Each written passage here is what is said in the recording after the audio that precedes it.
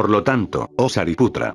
En el vacío no hay forma, ni sensación, ni percepción, ni impulso, ni conciencia, ni ojo, ni oído, ni nariz, ni lengua, ni cuerpo, ni mente. Ni formas, ni sonidos, ni olores, ni sabores, ni cosas tangibles, ni objetos de la mente. Ni elementos del órgano visual, y así sucesivamente, hasta que llegamos a ningún elemento de conciencia mental. No hay ignorancia, ni extinción de la ignorancia, y así sucesivamente, hasta que llegamos a que no hay decadencia ni muerte, ni extinción de la decadencia ni de la muerte. No hay sufrimiento, ni origen, ni término, ni sendero. No hay cognición, ni logro, ni no logro. La nada es la fragancia del más allá. Es la apertura del corazón a lo trascendental. Es el despliegue del loto de los mil pétalos. Es el destino del hombre. El hombre solo está completo cuando ha llegado a esta fragancia, cuando ha llegado a esta nada absoluta dentro de su ser, cuando esta nada se ha extendido por todo su ser, cuando es solo un cielo puro, sin nubes. Esta nada es lo que Buda llama nirvana. En primer lugar tenemos que comprender lo que esta nada realmente es, porque no es solo vacío, está llena, está rebosante. No pienses nunca ni por un momento que la nada es un estado negativo, una ausencia, no. La nada es simplemente no cosa. Las cosas desaparecen, solo la sustancia última permanece. Las formas desaparecen, solo lo sin forma permanece. Las definiciones desaparecen, lo indefinido permanece. Así que no es que no haya nada en la nada. Significa simplemente que no hay posibilidad de definir lo que hay. Es como cuando sacas todos los muebles de tu casa y los dejas fuera. Y entra alguien y dice, aquí no hay nada ahora. Había visto los muebles antes. Ahora los muebles faltan y dice, aquí no hay nada. No hay nada. Su afirmación es válida solo hasta cierto punto. En realidad, cuando sacas todos los muebles, simplemente quitas los obstáculos del espacio de la casa. Ahora existe un espacio puro, ahora no hay nada que obstaculice. Ahora no hay ninguna nube rodando por el cielo, es solo el cielo. No es solo nada, es pureza. No es solo ausencia, es una presencia. ¿Has estado alguna vez en una casa absolutamente vacía? Encontrarás que ese vacío es como una presencia. Es muy tangible, casi puedes tocarlo. Esa es la belleza de un templo, de una iglesia o de una mezquita pura nada, solo vacío. Cuando entras en un templo, lo que te rodea es el vacío. Está vacío todo, pero no simplemente vacío. En ese vacío algo está presente pero solo lo está para los que pueden sentirlo, los que son lo suficientemente sensibles para sentirlo, los que son lo suficientemente conscientes para verlo. Los que solo pueden ver las cosas dirán, ¿qué hay ahí? Nada. Los que pueden ver la nada dirán, todo está aquí, porque no hay nada. La identidad entre el sí y el no es el secreto de la nada. Dejadme repetirlo. Esto es absolutamente básico en el enfoque de Buda. La nada no es idéntica al no, la nada es la identidad entre el sí y el no, donde las polaridades ya no son polaridades, donde los opuestos ya no son opuestos. Cuando haces el amor con una mujer o un hombre, el momento del orgasmo es el momento de la nada.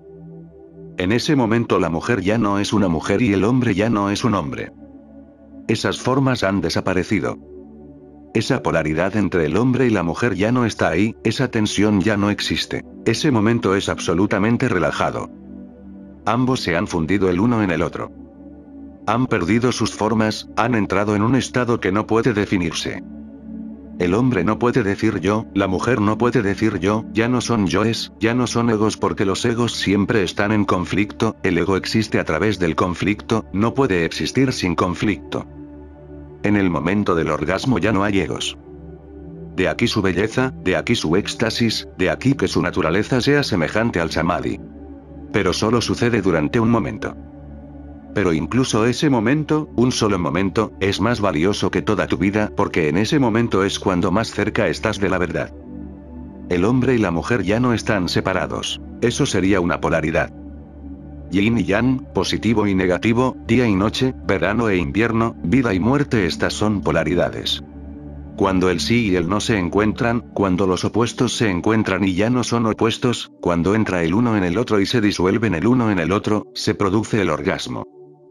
El orgasmo es el encuentro del sí y el no. No es idéntico al no. está más allá del sí y del no. En un sentido, está más allá de ambos. En un sentido, es ambos. A la vez, simultáneamente.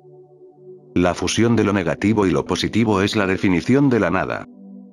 Y esa es también la definición de orgasmo, y esa es también la definición del samadhi. Recordémoslo. La identidad del sí y del no es el secreto del vacío, de la nada, del nirvana. El vacío no es solo vacío, es una presencia muy sólida. No excluye a su opuesto, lo incluye, está lleno de él. Es un vacío lleno, es un vacío rebosante. Está vivo, profusamente vivo, tremendamente vivo. Así que no dejes que te engañen los diccionarios ni por un momento, de otra forma malinterpretarás a Buda. Si acudes al diccionario y miras el significado de nada, no entenderás a Buda. El diccionario solo define la nada ordinaria, el vacío ordinario. Buda está hablando de algo muy extraordinario. Si quieres conocerlo, tendrás que entrar en la vida, en situaciones en las que el sí y el no se encuentran, entonces lo conocerás. Donde el cuerpo y el alma se encuentran, cuando el mundo y Dios se encuentran, donde los opuestos no son ya opuestos, solo entonces lo saborearás. Su sabor es el sabor del Tao, del Zen, del asidismo, del yoga. La palabra yoga está también llena de significado. Significa reunión, unión. Cuando un hombre y una mujer se encuentran, es un yoga. Se unen, se acercan mucho, empiezan a superponerse y luego desaparecen el uno en el otro. Entonces ya no tienen centros. El conflicto de los opuestos ha desaparecido y hay una absoluta relajación. Esta relajación sucede solo momentáneamente entre un hombre y una mujer. Pero esta relajación puede suceder con la totalidad, con el todo, de una forma intemporal. Puede suceder de forma eterna. En el amor tienes solo una gota de su éxtasis. En el éxtasis tienes todo el océano del amor. Solo alcanzas esta nada si no hay en ti nubes pensamientos. Esas son las nubes que obstaculizan tu espacio interno, que obstruyen tu espacio interno. ¿Has observado el cielo? En verano está completamente limpio, claro, absolutamente cristalino, sin rastro de nubes. Y luego vienen las lluvias, y llegan miles de nubes, y la tierra entera se ve rodeada de nubes. El sol desparece, el cielo ya no es visible. Este es el estado de la mente. La mente está llena de nubes constantemente. Es la estación de las lluvias de tu conciencia, el sol ya no está a la vista, la luz está oculta, obstaculizada, y la pureza del espacio y la libertad del espacio ya no están allí. Te encuentras limitado por las nubes por todas partes. Cuando dices, soy hindú, ¿qué estás diciendo? Te está capturando una nube, el pensamiento de que eres un hindú. Cuando dices, soy maometano o cristiano o jaina, ¿qué estás diciendo? Te estás identificando con una nube pensamiento, estás perdiendo tu pureza. Por eso digo que un hombre religioso no es ni hindú, ni maometano, ni cristiano no puede serlo. Él es el verano de la conciencia, él no tiene nubes. El sol está ahí, brillante, sin obstáculos, y hay un espacio infinito en torno a él, hay silencio a su alrededor. No encontrarás en él la vibración de la conciencia nublada. Cuando dices, soy comunista, ¿qué estás diciendo?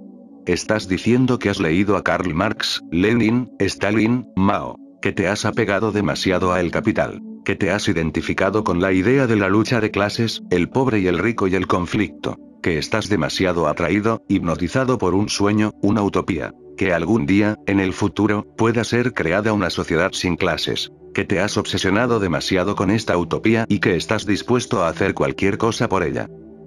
Incluso si tienes que matar a millones de personas, estás dispuesto por su propia causa, por su propio bien. Este es un estado lleno de nubes. Cuando dices, soy indio, otra vez lo mismo. Cuando dices soy chino otra vez lo mismo. Si realmente quieres ser religioso, tendrás que abandonar esas identificaciones poco a poco. Ninguna idea debería nunca poseerte. Ningún libro debe ser tu Biblia. Ningún Veda debería definirte, ningún Gita debería limitarte. No deberías atiborrarte con ninguna filosofía, teología, dogma, teoría o hipótesis. No deberías permitir que ningún humo rodee la llama de tu conciencia. Solo entonces eres religioso. Si preguntas a un hombre religioso que quién es, solo puede decir, soy una nada. Porque la nada no es una idea, no es una teoría. Simplemente indica un estado de pureza. Recuerda, la percepción no tiene nada que ver con el conocimiento. De hecho, cuando percibes a través del conocimiento no percibes correctamente. Todos los conocimientos crean proyecciones. Los conocimientos son tendenciosos, los conocimientos son prejuicios. Los conocimientos son conclusiones, has extraído tus conclusiones incluso antes de haber penetrado en el asunto. Por ejemplo, si vienes a mí teniendo ya una conclusión en tu mente ya sea a favor o en contra de mí, eso no importa, si vienes a mí con una conclusión, entonces vienes con una nube. Entonces seguirás mirándome a través de tu nube y, naturalmente, tu nube proyectará sombras sobre mí.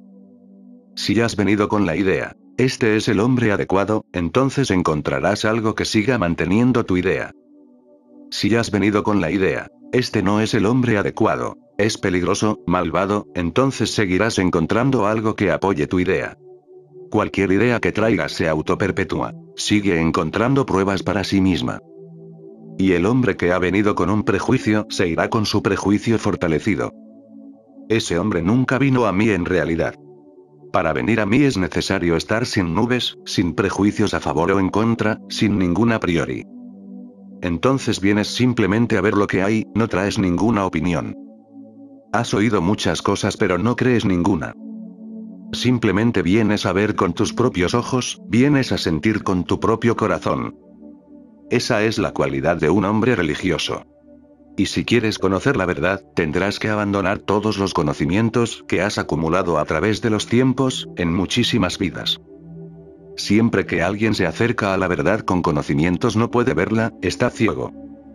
Los conocimientos te ciegan. Si quieres tener los ojos limpios, abandona los conocimientos. La percepción no tiene nada que ver con los conocimientos. La verdad y los conocimientos no van juntos. Los conocimientos no pueden contener la inmensidad de las vidas y la existencia. Los conocimientos son tan diminutos, tan pequeños, y la existencia es tan grande, tan enorme como pueden ellos contener la existencia. No pueden. Y si fuerzas a la existencia a entrar en tus patrones de conocimiento, destrozarás su belleza y destrozarás su verdad. Una vez que la existencia se convierte en conocimientos, ya no es existencia. Es como una persona que lleva un mapa de la India y piensa que está llevando la India. Ningún mapa puede contener a la India. La foto de la luna no es la luna. La palabra Dios no es Dios. La palabra amor tampoco, es amor. Ninguna palabra puede contener los misterios de la vida. Y los conocimientos no son otra cosa que palabra y palabras y palabras. Los conocimientos son una gran ilusión. Por eso es por lo que Buda dice, Permite que la nada se aposente en ti. La nada significa un estado en el que no sabes, un estado en el que ninguna nube flota en tu conciencia. Cuando no hay nubes es tu conciencia, entonces tú eres nada. La nada armoniza perfectamente con la verdad. Solo la nada armoniza perfectamente con la verdad. Los conocimientos no pueden contener el misterio del ser. Los conocimientos están en contra de lo misterioso. Lo misterioso significa lo que no se conoce, lo que no puede conocerse, lo que es básica, intrínseca, esencialmente, incognoscible no, solo, desconocido, sino incognoscible. ¿Cómo podría lo incognoscible ser reducido a conocimientos? El conocimiento sigue cogiendo los guijarros de la orilla y pasa por alto una y otra vez los diamantes. El conocimiento es mediocre, prestado, nunca es auténtico, nunca original. Para conocer la verdad necesitas una comprensión, una comprensión original. Necesitas ojos que puedan penetrar más y más. Necesitas una visión transparente. Así que solo cuando la mente está completamente desnuda de conocimientos, vacía de conocimientos, llega a conocer. Cuando no hay conocimientos, hay conocimiento, porque cuando no hay conocimientos hay saber. Cuando la mente está enteramente vacía de conocimientos, silenciosa, sin funcionar cuando la mente está a la espera, sin ninguna idea sobre qué esperar, solo una pura espera, expectante pero sin saber qué espera, esperando al huésped pero sin ninguna idea, esperando con la puerta abierta que el huésped llame, pero sin ninguna idea sobre quién es el huésped, ¿cómo puedes saberlo de antemano? Si tienes una idea preconcebida de Dios, seguirás sin encontrarlo porque no lo conoces de antes. Sí, como lo han conocido, pero cualquier cosa que ellos digan son solo mapas. Yo solo puedo darte un mapa. Todo conocimiento es solo un mapa. No empieces a adorar al mapa, no empieces a crear un templo en torno al mapa. Así es como se han creado los templos. Un templo está dedicado a los Vedas, otro a la Biblia, otro al Corán, todos ellos son mapas. No son el país real, son solo mapas. Cuando os digo algo, tengo que usar palabras, las palabras llegan a ti, tú te lanzas sobre las palabras, comienzas a acumular las palabras, la mente es una gran acumuladora y entonces empiezas a creer que sabes. Esa no es la forma de saber. La forma de saber es desechar todos los conocimientos. Y desecharlos de un golpe. No lo hagas lentamente, gradualmente. Si lo comprendes, puede suceder en este mismo momento. De hecho, comprenderlo es dejar que suceda. No necesitas hacer nada en particular, ni siquiera necesitas abandonar los conocimientos. Simplemente viendo que los conocimientos no pueden hacer que sepas de hecho estorbarán, viendo esto, la revolución, viendo esto, la transformación. Así que cuando la mente esté desnuda, silenciosa, sin funcionar, completamente a la espera, entonces llega a la verdad. Entonces la verdad es. No necesita llegar de ningún sitio, siempre ha estado ahí. Pero tú estabas repleto de conocimientos. Por eso, seguías sin verla. La nada puede conocer la verdad porque en la nada la inteligencia funciona totalmente. Solo en la nada funciona totalmente la inteligencia. Por eso fíjate qué milagro. Es por lo que los niños son tan inteligentes y los ancianos, poco a poco, se van quedando aletargados. Los niños aprenden muy rápido. Cuanto más viejo te haces, más difícil te resulta aprender. Si eres viejo y quieres aprender chino, necesitarás 30 años. Y un niño lo aprende en dos o tres años. Los científicos dicen ahora que un niño puede aprender al menos cuatro lenguas muy fácilmente si está en contacto con ellas muy fácilmente. Ese es el mínimo. El máximo no se ha decidido aún. ¿Cuántas lenguas puede aprender un niño si se le pone en contacto con ellas? Sucede. Si la familia es políglota, sucede fácilmente. Si en la ciudad se hablan muchas lenguas, sucede fácilmente. En Bombay sucede fácilmente. El niño aprenderá hindú, inglés, marathi, gujarati, muy fácilmente. El niño solo necesita ser expuesto a ellas. El niño es tan inteligente que las entiende inmediatamente y las aprende. Cuanto más viejo te haces, más difícil se vuelve. Dicen que es muy difícil enseñar nuevos trucos a un perro viejo. No tiene por qué ser así. Si sigues siendo una nada, entonces no tiene por qué ser así, porque entonces sigues siendo un niño toda tu vida. Sócrates es un niño incluso cuando está muriéndose, porque es aún vulnerable, está abierto, dispuesto a aprender, dispuesto a aprender incluso de la muerte. Cuando está tendido en el lecho y le están preparando el veneno a las 6 le darán el veneno, cuando el sol esté poniéndose, él está tan entusiasmado como un niño. Sus discípulos están llorando y gimiendo, y él está lleno de entusiasmo. Se levanta una y otra vez para inquirir al hombre que está preparando el veneno. ¿Cuánto tiempo tardará? Hay tanta curiosidad en sus ojos. Iba a morir. No es el momento de ser tan curiosos. Va a expirar en pocos minutos, y está lleno de entusiasmo, en éxtasis. Y un discípulo le pregunta, ¿qué es lo que te entusiasma tanto? Vas a morir. Y Sócrates dice, he conocido la vida y he aprendido mucho de la vida. Ahora me gustaría conocer la muerte y aprender de la muerte. Por eso estoy entusiasmado. Incluso la muerte se convierte en una gran experiencia para el que es inocente. Sócrates es inocente. En Occidente no ha habido otro hombre comparable a Sócrates. Sócrates es el Buda de Occidente. Siempre serás capaz de aprender si continúas siendo un niño. ¿Qué es lo que crea adormecimiento? Estupidez. Mediocridad. En ti. Los conocimientos. Acumulas conocimientos. Te vuelves menos y menos capaz de saber. Renuncia a los conocimientos. Yo os enseño a renunciar a los conocimientos. No os enseño a renunciar al mundo, eso es estúpido, ridículo, sin sentido. Yo os enseño a renunciar a los conocimientos. Y sucede algo extraño. Me he encontrado con gente que ha renunciado al mundo. En los Himalayas encontré a un fakir hindú muy viejo, tendría 90 años o incluso más. Durante 70 años había sido un sanyasin, durante 70 años había vivido fuera de la sociedad. Había renunciado a la sociedad, había estado 70 años sin pisar el llano. Se fue a los Himalayas cuando era un joven de 20 años y desde entonces no había vuelto a su país. Nunca volvió a estar entre la multitud, pero aún era un hindú. Aún se consideraba hindú. Yo le dije, renuncias a la sociedad, pero no has renunciado a tu conocimiento, y el conocimiento te lo dio la sociedad. Aún eres un hindú. Todavía estás entre la multitud. Porque ser un hindú es estar en una multitud. Todavía no eres un individuo. Todavía no te has hecho una nada. El anciano comprendió. Comenzó a llorar. Dijo, nadie me había dicho eso. Puedes renunciar a la sociedad, puedes renunciar a las riquezas, puedes renunciar a tu esposa, a tus hijos, a tu marido, a la familia, a los padres es fácil, no hay nada de particular en ello. Lo que realmente importa es renunciar a los conocimientos. Esas cosas están fuera de ti, puedes escapar de ellas, pero ¿dónde y cómo escaparás de algo que está dentro de ti, que está aferrado ahí? Eso irá contigo. Puedes ir a una cueva de los Himalayas pero sigues siendo un hindú, sigues siendo un maometano, sigues siendo un cristiano. Entonces no podrás ver la belleza y la verdad de los Himalayas. No podrás ver esa virginidad de los Himalayas. Un hindú no puede verla, un hindú está ciego.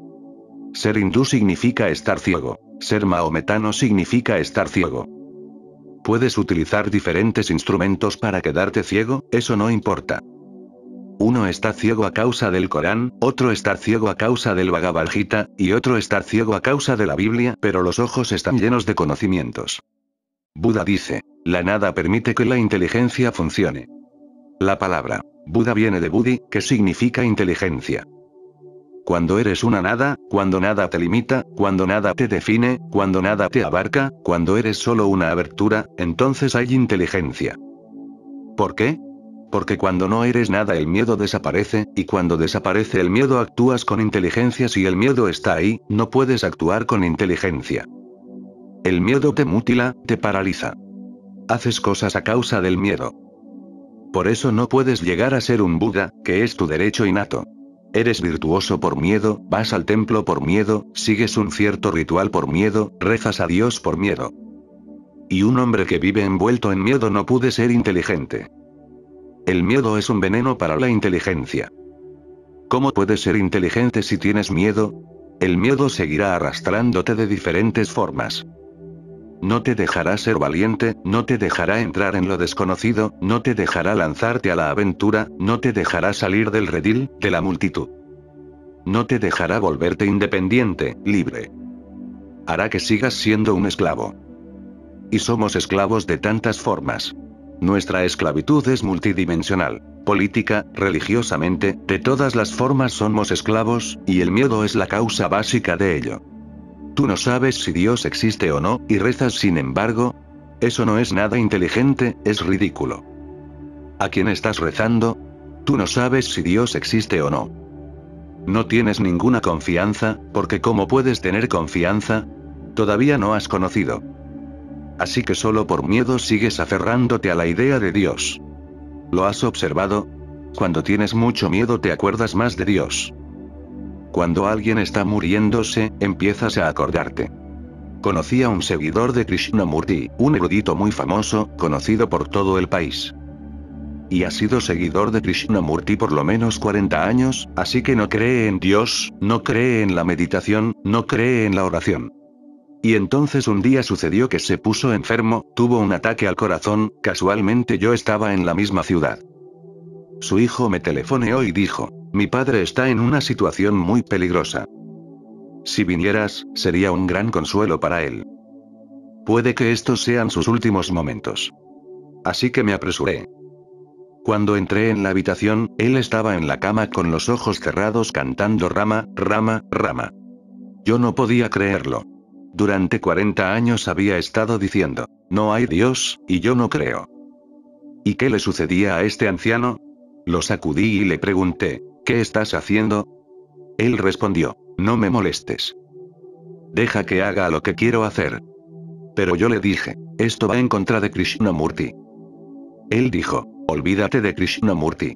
Me estoy muriendo y tú hablas de Krishnamurti. ¿Pero qué pasa con esos 40 años? ¿Desperdiciados? ¿Y tú nunca habías creído que un japa, un cántico pudiese ayudar, o que una oración sirviese para algo? Él dijo, sí, es verdad. Nunca había creído, pero ahora estoy frente a la muerte. Tengo mucho miedo. Quizá. Quien sabe Dios existe. Y en pocos minutos me encontraré con Él. Si Él no existe, entonces no hay problema. Nada perderé por repetir. Rama, rama. Si Él existe, algo habré ganado. Al menos puedo decirle, en su momento me acordé de ti. ¿Lo has observado? Cuando eres desgraciado, te acuerdas más de Dios. Cuando estás en peligro, te acuerdas de Dios. Cuando eres feliz y todo marcha sin problemas, te olvidas totalmente de Dios.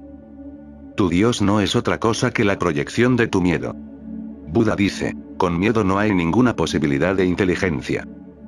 Y el miedo está ahí por una razón muy primordial, porque piensas que eres. Por eso hay miedo. El ego lleva consigo al miedo como una sombra. El ego mismo es ilusorio, pero la ilusión proyecta una gran sombra sobre tu vida. Tienes miedo porque piensas yo soy. Quizás si hago algo mal me arrojarán al infierno. Entonces sufriré. Si piensas yo soy, entonces naturalmente piensas en aprovisionarte para la vida futura, para el otro mundo, en hacer algo bueno, en acumular un poco de puña. Ya sabes, el nombre de esta ciudad Puna viene de puña, virtud. Acumulas un poco de virtud, acumulas algo en tu cuenta, en tu balance bancario para poder mostrárselo a Dios. Mira, he sido un chico muy bueno. He hecho estas cosas. He ayunado tantos días, nunca he mirado con malos ojos a la mujer de nadie, nunca he sido ladrón, he donado tanto dinero a este templo y a aquella iglesia. Siempre me he comportado como se esperaba que lo hiciese. Uno empieza a acumular virtud por si acaso la necesita en el otro mundo. Pero todo esto es por el miedo. Vuestra gente buena, vuestra gente mala, están todos viviendo con miedo. Una persona inteligente vive sin miedo. Pero para vivir sin miedo tendrás que examinar la realidad de tu ego. Si no hay ego, si yo no soy, entonces ¿dónde puede existir el miedo? Entonces no puede ser arrojado al infierno porque, para empezar, tú no eres, y no puede ser recompensado en el cielo porque, para empezar, tú no eres. Tú no eres, solo Dios es, así que ¿cómo puedes tenerle miedo? Tú no haces, porque no eres. Y no morirás, porque, en primer lugar, tú no eres. Así que no hay nacimiento ni muerte. No existes separado. Eres uno con esta existencia. Como ola puedes desaparecer, pero como océano vivirás. Y el océano es la realidad, la ola es solo arbitraria. La nada no conoce el miedo, ni la avaricia, ni la ambición, ni la violencia. La nada no conoce la mediocridad, ni la estupidez, ni la idiotez. La nada no conoce el infierno, ni el cielo. Y como no hay miedo, hay inteligencia. Esta es una de las más grandes afirmaciones que hay que recordar. Hay inteligencia cuando no hay miedo. Entonces la acción tiene una cualidad totalmente diferente. Es divina, es santa. ¿Por qué? Porque cuando tu acción viene de la nada, no es una reacción. Cuando tu acción surge de la nada, no es un plan. Cuando tu acción viene de la nada, no está ensayada. Cuando tu acción viene de la nada, es espontánea. Entonces vives momento a momento. Eres una nada, surge una situación y tú respondes a ella. Si eres un ego, nunca respondes, siempre reaccionas. Deja que te lo explique. Cuando eres un ego, siempre reacciona. Por ejemplo, si tú piensas que eres un hombre buenísimo, si crees que eres un santo, y entonces sucede algo alguien te insulta. Pues bien, responderás a este insulto o reaccionarás. Si crees que eres un santo, te pensarás tres veces cómo reaccionar, qué hacer para poder salvar también tu santidad. De otra forma este hombre puede destruirla simplemente insultándote. No puede ser espontáneo, tienes que echarte atrás, tienes que reflexionar. Y el tiempo pasa. Puede que solo sea un instante, pero el tiempo pasa. Eso no puede ser espontáneo, no puede corresponder al momento. y tú actúas según el pasado. Tú piensas, esto es demasiado. Si me enfado y la ira está llegando, si me enfado, perderé mi santidad. El precio es demasiado alto, empiezas a sonreír. Para salvar tu santidad sonríes. Esa sonrisa es falsa. No viene de ti, no viene de tu corazón. Está ahí, pintada en tus labios. Es falsa. Tú no estás sonriendo, solo tu máscara está sonriendo. Estás engañando. Eres un hipócrita. Eres falso. Eres un farsante. Pero has salvado tu santidad. Has actuado de acuerdo con el pasado, de acuerdo con tu imagen e idea particular de tu ser. Eso es la reacción. El hombre espontáneo no reacciona, responde. ¿Cuál es la diferencia? El hombre espontáneo permite simplemente que la situación obre en él, y deja que la respuesta salga, cualquiera que sea. El hombre que vive según el pasado es predecible, y el hombre que vive momento a momento es impredecible. Y ser predecible es ser una cosa. Ser impredecible es ser libertad, esa es la dignidad del hombre. El día que eres impredecible nadie sabe, ni siquiera tú. Recuerda, ni siquiera tú. Si tú sabes de antemano qué es lo que harás, entonces ya no es respuesta. Ya te has preparado, lo has ensayado. Por ejemplo, vas a tener una entrevista. Primero ensayas. Piensas en lo que te van a preguntar y en cómo vas a responder. Sucede todos los días, está muy claro. Yo recibo gente todas las tardes, y los dos tipos de personas están ahí. Algunos vienen preparados, han pensado en lo que van a decirme, ya lo tienen preparado. El guion está listo, solo tienen que repetirlo, todo sobre lo que van a preguntar está ya decidido.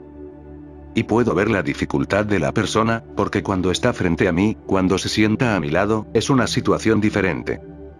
Empieza a suceder un cambio.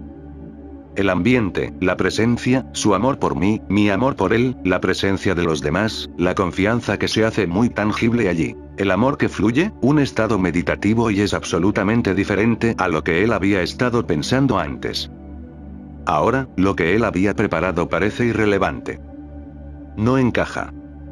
Y se pone nervioso, inquieto qué voy a hacer.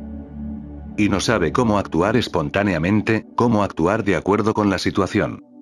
Se sitúa frente a mí, pero yo veo la falsedad de todo ello. Su pregunta no procede de su corazón. Solo de su garganta, no tiene profundidad. Su voz no tiene profundidad. Él mismo no está seguro de si quiere preguntarlo o no, pero lo ha preparado, quizá durante días. Y la mente sigue diciendo, pregúntalo. Lo has preparado. Y él ve la irrelevancia de la pregunta. Quizá ya ha sido respondida. Quizá le ha contestado al responder a otra persona. Quizá la situación misma es tal que su propia mente ha cambiado y la pregunta ya no es significativa. Pero actúa según el pasado. Eso es reacción. Parecerá torpe. Le resulta embarazoso no tener nada que preguntar. Y no puede llorar porque es una persona falsa, y no puede decir simplemente, hola, y no puede decir, me gustaría sentarme contigo un momento, no tengo nada que decir. No puede actuar según el momento. No puede estar aquí ahora. Se siente aturdido. Tiene que preguntar, si no, ¿qué pensará la gente? Entonces, ¿para qué has pedido Darsean si no tenías nada que preguntar? Así que pregunta. Ya no está tras ello. Es una vieja pregunta podrida que ya no tiene significado, pero él pregunta. Y a veces, puede que lo hayas observado, a algunas personas les sigo respondiendo y les dedico bastante tiempo, y a otras personas les contesto de forma muy rápida. Siempre que veo que alguien es falso, que su pregunta es falsa, que es una pregunta preparada, entonces no tiene sentido responderle. Por respeto a él le hablo un poco, pero ya no estoy interesado. Y el que pregunta con falsedad tampoco está interesado en lo que le estoy diciendo porque ya ni siquiera está interesado en su pregunta, ¿cómo va a estar interesado en la respuesta? Pero hay otras personas poco a poco la falsedad desaparece y los sanyasin se hacen más y más verdaderos, más auténticos. Y entonces alguien simplemente se sienta aquí y se ríe. Eso es lo que le viene en ese momento. No se siente nervioso, no siente que esté fuera de lugar. Y no lo está. Lo que está fuera de lugar es el guion preparado.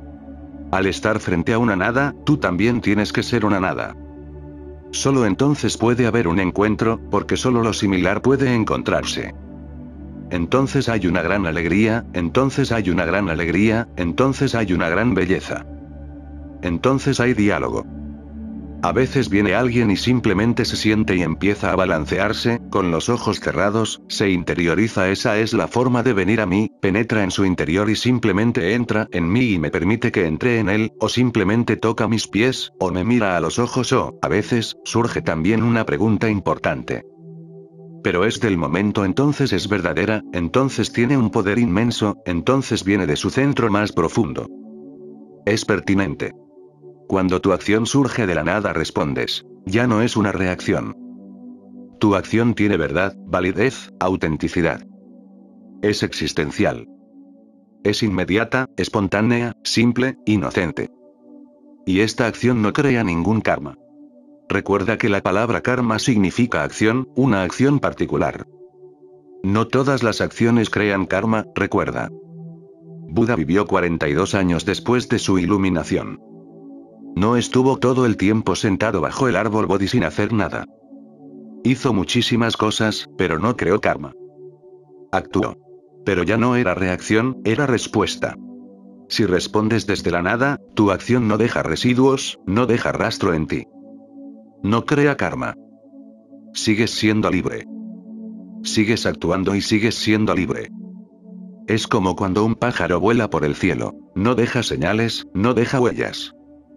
El hombre que vive en el cielo de la nada no deja huellas, no deja karma, no deja residuos. Su acción es total. Y cuando su acción es total, está terminada, está completa.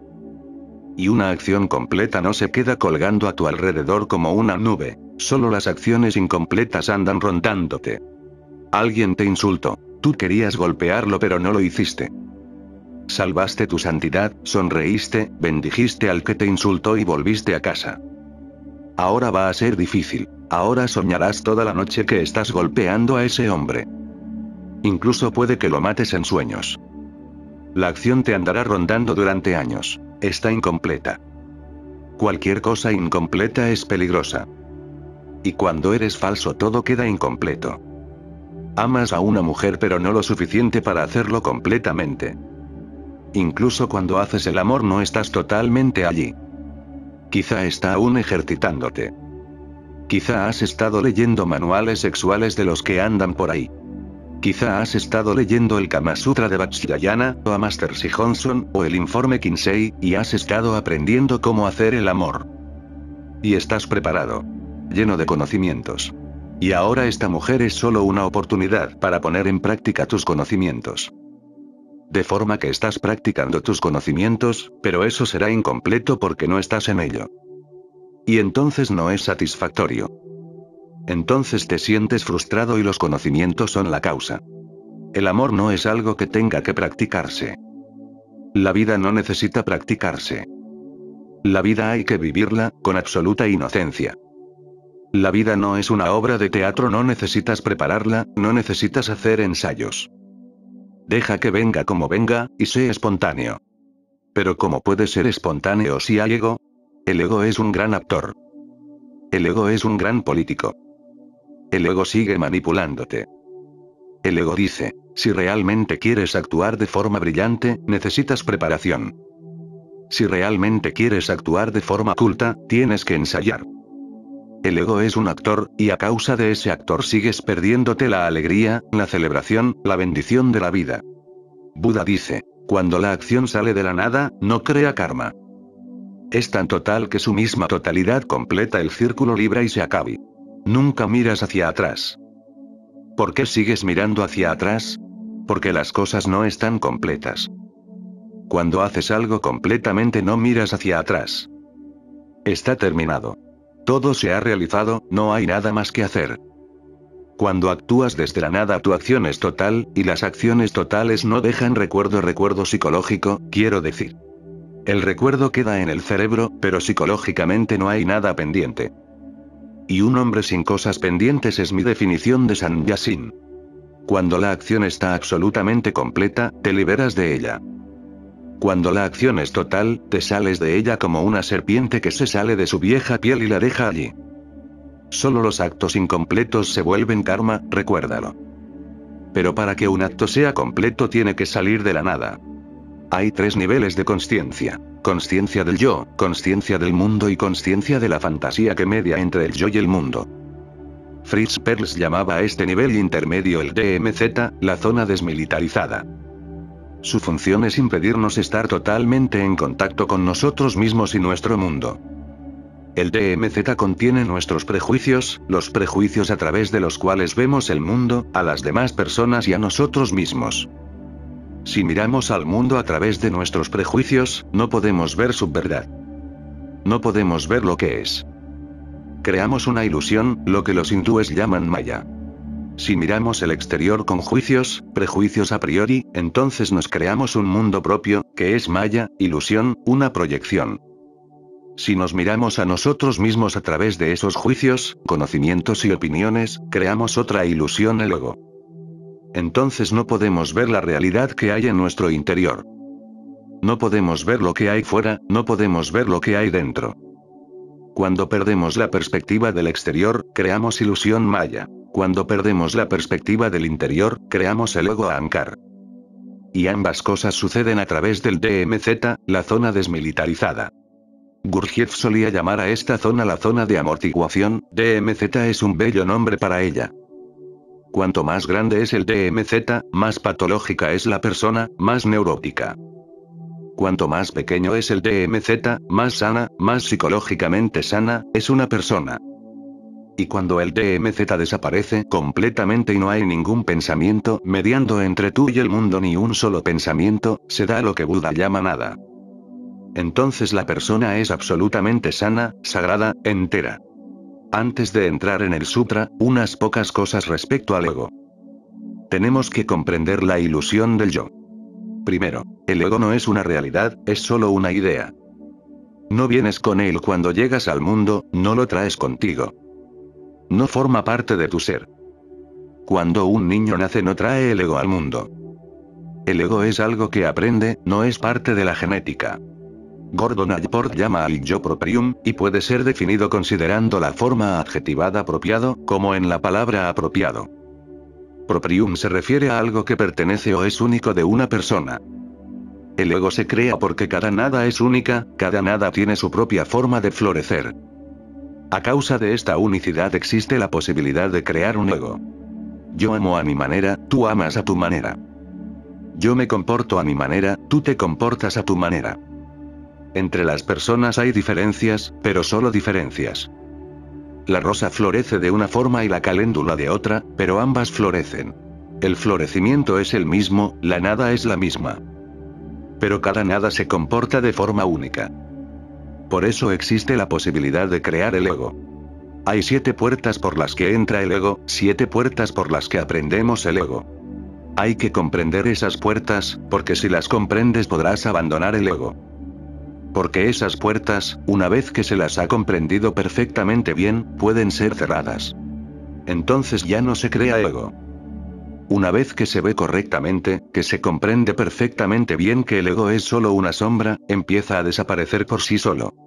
Allport llama a la primera puerta el yo corporal. No nacemos con el sentido del yo. El niño en el útero de la madre no tiene sensación del yo. Es uno con su madre. Es absolutamente uno, está totalmente unido con su madre. Y la madre es toda su existencia, su cosmos. No sabe que está separado. La separación llega cuando el niño sale del útero, cuando se corta el puente que lo unía a su madre y el niño tiene que respirar por sí mismo. De hecho, respirar no es algo que el niño vaya a hacer. ¿Cómo podría hacerlo? Todavía no puede respirar, aún no está aquí. La respiración sucede. No es que el niño la haga, está sucediendo. Sale de la nada. El niño comienza a respirar. Esos pocos segundos son muy, muy valiosos, críticos, peligrosos. Los padres, el médico, las enfermeras que atienden el parto, todos están esperando atentamente respirará el niño o no. No se puede forzar al niño, no se le puede persuadir, y el niño no puede hacer nada por sí mismo. Si sucede, sucede. Puede que no suceda, puede que suceda. A veces los niños no respiran. Entonces pensamos que han nacido muertos. Que el niño respire por primera vez es algo milagroso. Nunca lo ha hecho antes, no puede estar preparado para ello. No sabe que exista el mecanismo de la respiración. Los pulmones jamás habían funcionado hasta entonces, pero la respiración llega y el milagro comienza. Pero la respiración viene de la nada, recuerda. Más tarde empezarás a decir, estoy respirando. Eso es absurdo. Tú no estás respirando. La respiración está sucediendo. No fabriques la idea del yo, no digas estoy respirando. Nadie está respirando. No está dentro de su capacidad el hacerlo o no. Puedes probar. Deja de respirar durante unos pocos segundos y sabrás lo difícil que es también detenerlo. En pocos segundos, un gran sofoco surge de la nada y empiezas a respirar de nuevo. O deja de expirar. Lo intentas durante unos segundos y de pronto estás totalmente sofocado. El ahogo te supera. La respiración quiere entrar.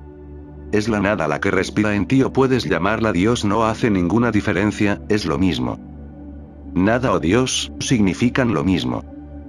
Nada en el budismo significa exactamente lo mismo que Dios en el cristianismo, en el judaísmo, en el hinduismo. Dios es una nada. No nacemos con un sentido del yo. No es parte de nuestro legado genético. El niño no puede distinguir entre el yo y el mundo en torno a él. Incluso cuando el niño ha empezado a respirar, tarda meses en darse cuenta de que existe una distinción entre su interior y el exterior. Gradualmente, a través de un aprendizaje de creciente complejidad y experiencias perceptivas, se desarrolla una vaga distinción entre algo en mí y otras cosas fuera. Esta es la primera puerta por la que entra el ego, la distinción de que hay algo en mí. Por ejemplo, el niño siente hambre, siente que viene de dentro. Y luego la madre le da un cachete y siente que llega del exterior. Así que poco a poco irá surgiendo una distinción que hay cosas que vienen de dentro y cosas que vienen de fuera. Cuando la madre sonríe, el niño ve que la sonrisa viene de fuera y entonces responde, sonríe y siente que la sonrisa sale de dentro, de algo en su interior. Surge la idea de adentro y afuera. De esta forma experimentas el ego por primera vez. En realidad no existe distinción entre el exterior y el interior. El interior es parte del exterior y el exterior es parte del interior. El cielo de dentro de tu casa y el cielo de fuera no son dos cielos, recuerda. Libra son un cielo. Y lo mismo pasa con tú ahí y yo aquí no somos dos. Somos dos aspectos de la misma energía, dos caras de la misma moneda. Pero el niño comienza a aprender los modos del ego. La segunda puerta es la autoidentidad. El niño aprende su nombre, se da cuenta de que el reflejo de hoy en el espejo es la misma persona que vio ayer y cree que el sentido de mío del yo persiste ante experiencias cambiantes. El niño continúa sabiendo que todo cambia. A veces tiene hambre, a veces no tiene hambre. A veces tiene sueño y a veces está despierto. Y a veces está enfadado y a veces muy amoroso. Las cosas siguen cambiando. Un día es un hermoso día, otro día está oscuro y triste. Pero se mira al espejo. ¿Has mirado alguna vez a un niño pequeño sentado ante un espejo? Intenta coger al niño que hay dentro del espejo, porque cree que el niño está fuera. Si no puede cogerlo, da la vuelta y mira detrás del espejo está el niño escondido allí. Pero con el tiempo empieza a saber que es él, el que está reflejado. Y entonces empieza a sentir una especie de continuidad. Ayer era la misma cara, hoy también es la misma cara en el espejo. Cuando los niños miran al espejo por primera vez, quedan fascinados. No lo dejan. Van una y otra vez al dormitorio para ver quiénes son. Todo sigue cambiando. Hay una cosa que parece ser inmutable la propia imagen. El ego tiene otra puerta por la cual entrar, la autoimagen. La tercera puerta es la autoestima.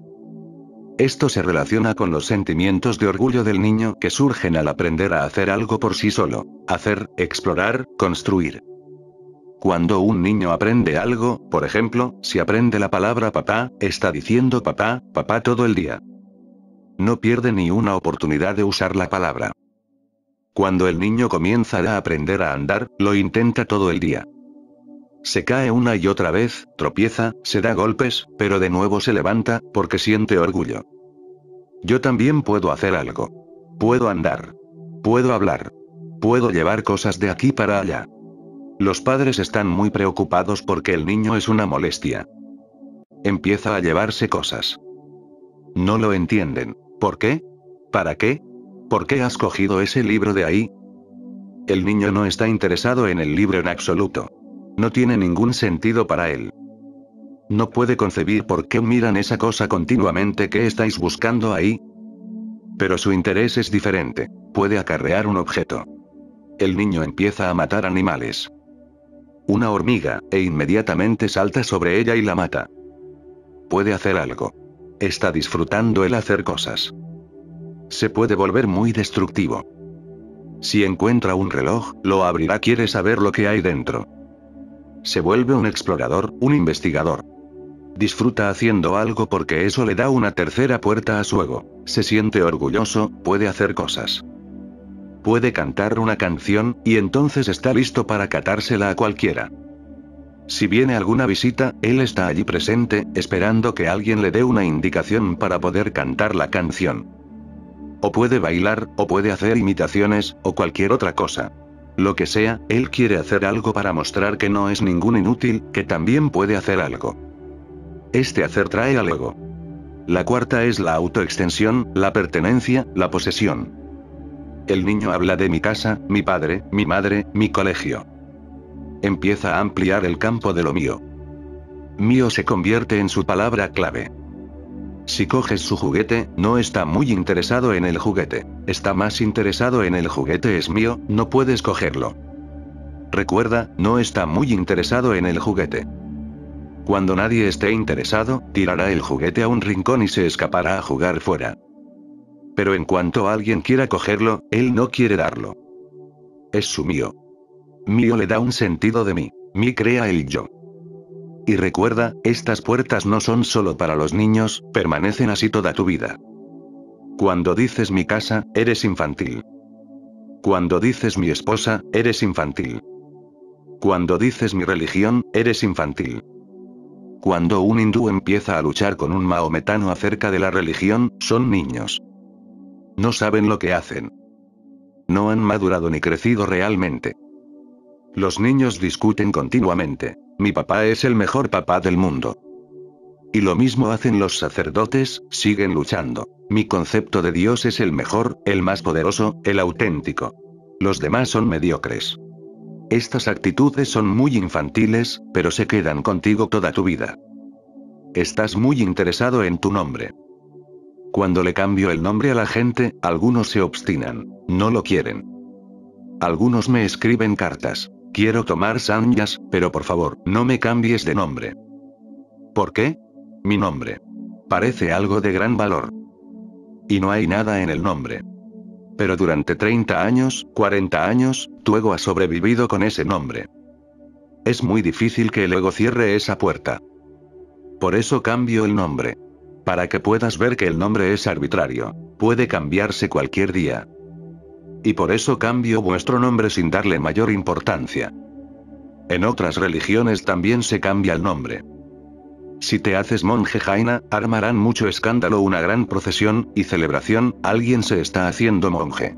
Ahora se apegará demasiado a ese nuevo nombre. Tanta celebración y tanta festividad por el monje, y tanto honor y respeto, tanto jaleo. Se pierde el sentido de la cuestión.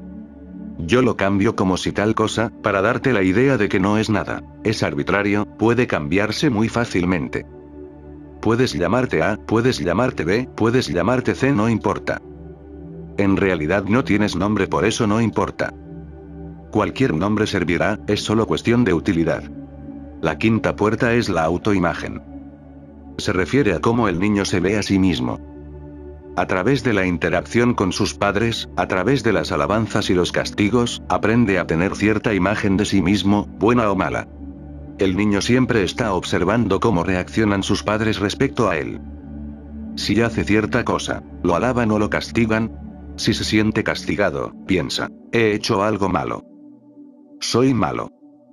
Si hace algo bueno y lo alaban, piensa, soy bueno, me aprecian. Empieza a intentar ser más y más bueno, para que lo aprecien. O, si los padres son personas realmente difíciles y exigentes, y sus demandas son tales que el niño no puede satisfacerlas, entonces empieza a hacer todo lo que ellos llaman malo. Reacciona y se revela. Estas son las dos formas, la puerta es la misma. O lo alabas y se siente bien por ser alguien. O si no lo alabas fácilmente dice, muy bien, entonces ya verás. Entonces también hará que se note su presencia. Empezará a romper cosas, empezará a fumar, empezará a hacer cosas que no te gustan. Y dirá, ¿lo ves? Tienes que hacerme caso. Tienes que prestarme atención. Tienes que saber que soy alguien y que estoy aquí, y no puedes ignorarme. Así nacen el chico bueno y el chico malo, el santo y el pecador. La sexta es el yo como razón. El niño aprende los caminos de la razón, la lógica, la argumentación. Aprende que puede solucionar problemas. La razón se convierte en un gran apoyo para su yo. Por eso discute la gente. Por eso las personas educadas creen que son alguien. ¿No tienes estudios? Entonces te sientes un poco avergonzado. Tienes un gran título, eres doctor en filosofía o en literatura y sigues mostrando, exhibiendo tu certificado. Has conseguido una medalla de oro, eres el primero en la universidad y esto y lo otro. ¿Por qué?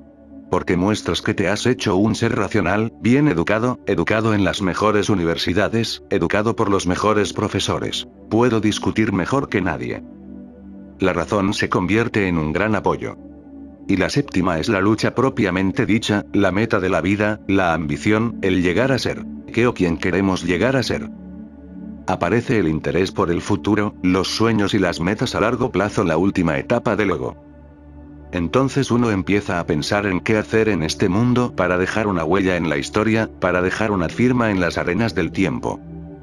Hacerse poeta, hacerse político, hacer Mahatma, hacer esto o lo otro. La vida va muy deprisa, se pasa volando, y hay que hacer algo, de lo contrario pronto desapareceremos y nadie sabrá que hemos existido. Queremos ser Alejandro o Napoleón. Si es posible, uno quiere ser un chico bueno, famoso, muy conocido, un santo, un Mahatma. Si no es posible, entonces también se quiere ser alguien. Muchos asesinos han confesado ante los tribunales que habían asesinado a alguien, no porque estuvieran interesados en matarlo, sino solamente porque querían que sus nombres apareciesen en la primera página de los periódicos. Un hombre asesinó a alguien por la espalda. Llegó y lo apuñaló, y ni siquiera lo había visto antes.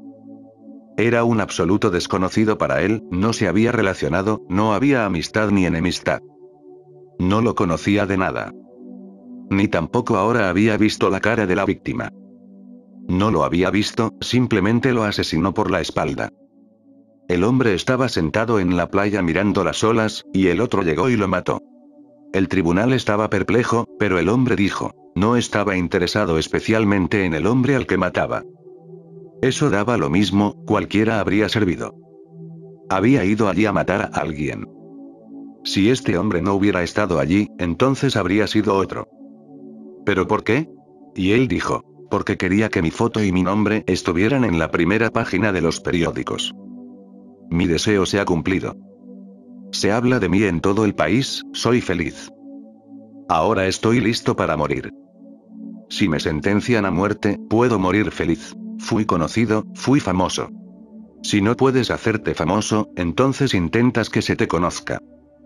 Si no puedes ser Mahatma Gandhi, te gustará ser Adolfo Hitler, pero nadie quiere ser un don nadie.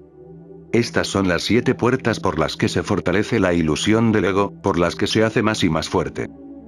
Y estas son las siete puertas si comprendes por las que hay que sacar al ego de nuevo. Lentamente, sin prisas, desde cada puerta, tienes que mirar tu ego profundamente y decirle adiós.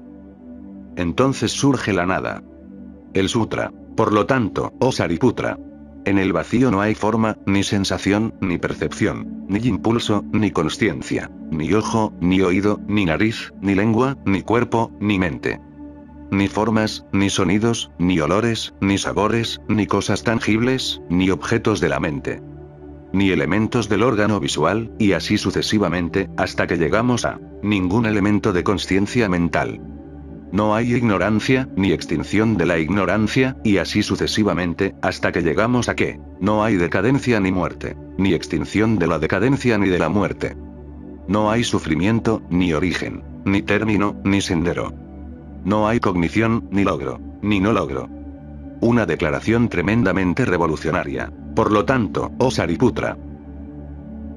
Primero hay que comprender la expresión por lo tanto.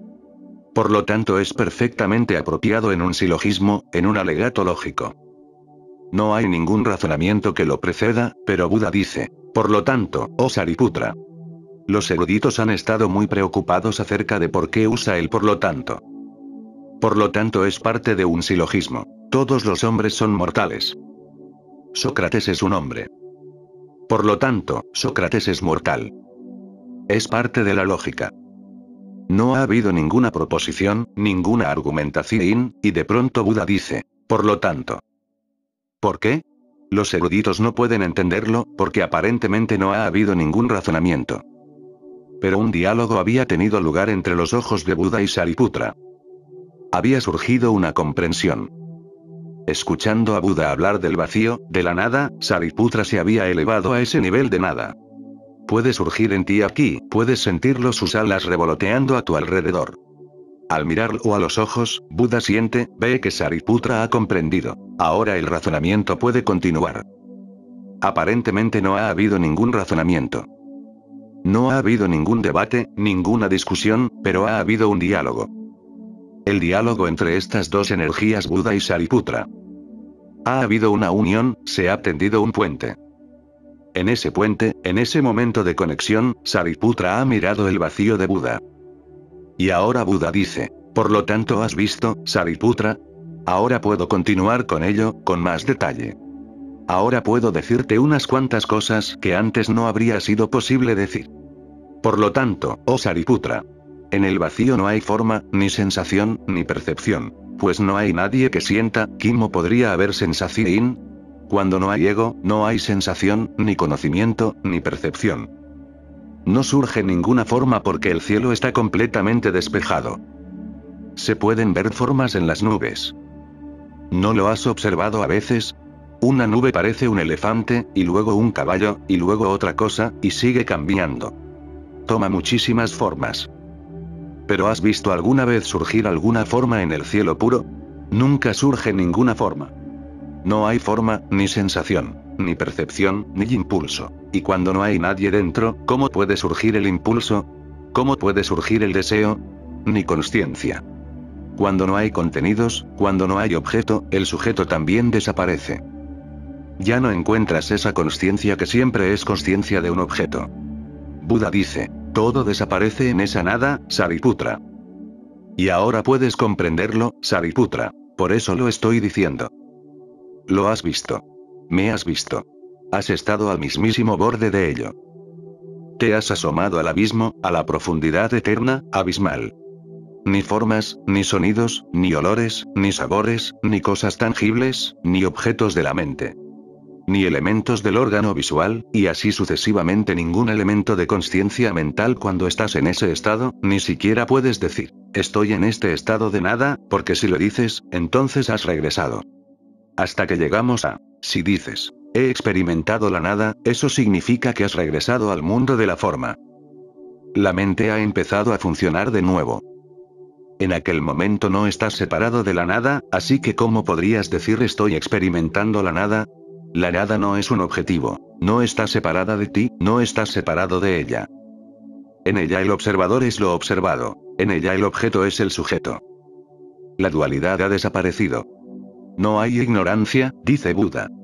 No hay conocimiento, tampoco hay ignorancia, porque la ignorancia solo se da cuando piensas en términos de conocimientos. Es comparación con los conocimientos. ¿Qué quieres decir cuando llamas ignorante a un hombre? Estás comparándolo con algún erudito. Pero no hay conocimiento, así que tampoco puede haber ignorancia. No hay ignorancia, ni extinción de la ignorancia. Y Buda dice, recuerda, no estoy diciendo que la ignorancia desaparezca. La ignorancia nunca ha existido, era una sombra del conocimiento, era una sombra de la mente adicta al conocimiento. ¿Qué dices cuando llevas una luz a una habitación oscura? ¿Que la oscuridad desaparece, que sale de la habitación, que se escapa de la habitación, que huye? No, no puedes decir eso, porque la oscuridad no existía en un principio. ¿Cómo podría salir? Llega a la luz y no encuentras oscuridad, porque la oscuridad solo era ausencia de luz. Así que no hay ignorancia, ni extinción de la ignorancia. No hay conocimientos y no hay no conocimientos. Uno sencillamente es inocente con respecto a todo conocimientos, ignorancia, simplemente inocente, virgen. Estar libre del conocimiento y estar libre de la ignorancia es ser virgen, ser puro. No hay decadencia ni muerte, porque no hay nadie para morir. Y recuerda, no hay extinción de la decadencia ni de la muerte. Y Buda no está diciendo que la muerte desaparezca porque, para empezar, la muerte nunca ha existido. Decir que la muerte ha desaparecido no sería correcto. Buda es muy, muy perfecto en sus afirmaciones, muy cuidadoso. No ha pronunciado ni una sola palabra que pueda ser refutada por alguien que conoce la realidad. No ha hecho concesiones. No ha hecho concesiones al que escucha. Posiblemente ha dicho lo más perfecto que podía decirse. No hay sufrimiento. Ahora llega a la afirmación revolucionaria por excelencia. Debes haber oído hablar de las cuatro nobles verdades de Buda. La primera noble verdad es el sufrimiento. Todo el mundo está sufriendo, toda la existencia es dukkha, sufrimiento, dolor, miseria, agonía. Y la segunda noble verdad es, su origen es el deseo, tana. El sufrimiento existe. La primera noble verdad Arya Satya. La segunda noble verdad es que el sufrimiento tiene una causa y esa causa es el deseo. Sufrimos porque deseamos. Y la tercera noble verdad es, podemos dejar de desear. Es posible Niroda. Podemos hacerlo. Examinando profundamente los deseos podemos detenerlos. Y cuando los deseos se detienen, el sufrimiento desaparece. Y la cuarta noble verdad es, hay un noble sendero ótuple que conduce a la cesación, niroda, de los deseos, y, consecuentemente, del sufrimiento. Esta es la filosofía fundamental del budismo, y en esta afirmación Buda la niega también. Dice, no hay sufrimiento, ni origen, ni término, ni sendero. Nunca nadie ha dicho algo tan revolucionario. Buda alcanza la cima absoluta de la revolución, todos los demás se quedan cortos. Los eruditos siempre se han preocupado porque esto es contradictorio.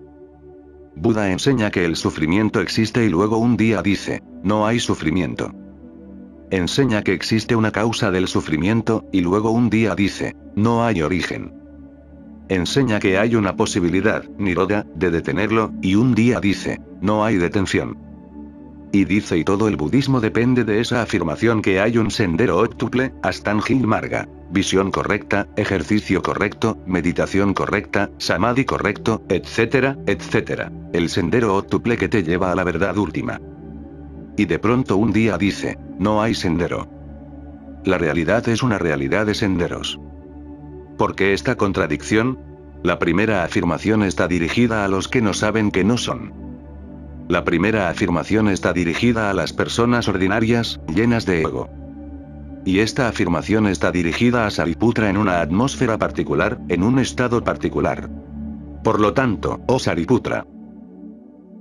Ahora puedo decirte esto. No podía decírtelo antes, no estabas preparado. Ahora me has visto, y viéndome has visto lo que es la nada. La has saboreado. Por lo tanto, Sariputra. Tasmat Sariputra. Ahora es posible decirte que no hay sufrimiento que es un sueño, que la gente sufre en un sueño. Y no hay causa la gente desea en un sueño. Y no hay término la gente está ejercitándose, practicando métodos, meditando, haciendo yoga, etc. En un sueño. Y el sendero entero existe en el sueño. Ahora te lo puedo decir porque estás despierto, Sariputra. Tus ojos están abiertos. Ahora ves que el ego no existe. Y salir del ego es salir del sueño. Salir del ego es salir de la oscuridad. Salir del ego es ser libre. En esa libertad puede decirse que no hay sendero. El sendero es como un sueño. En el sueño sufres, y cuando sufres en un sueño, es tan real. Y te preguntas, ¿por qué sufro? Y entonces te encuentras con un gran sabio en el sueño, y el sabio dice, sufres porque deseas. Estás demasiado encaprichado con el dinero. Por eso sufres. Abandona este deseo y el sufrimiento desaparecerá. ¿Lo comprendes? Es muy lógico. Lo sabes, tú mismo has experimentado que siempre que deseas llega el sufrimiento. Cuanto más deseas, más sufres. Cuanto mayor es el deseo, mayor es el sufrimiento. ¿Lo comprendes? Entonces preguntas, ¿cómo pararlo?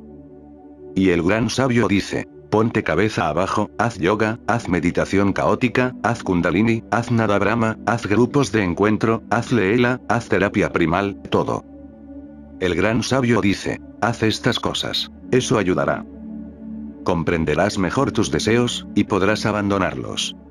De forma que el sabio te da un sendero ótuple muy preciso. Y dice, este es el camino. Un día, cuando estés realmente despierto y recuerda, esas cosas te ayudarán a despertar. Incluso si te pones cabeza abajo en un sueño, hay una posibilidad de que el sueño se rompa. Inténtalo.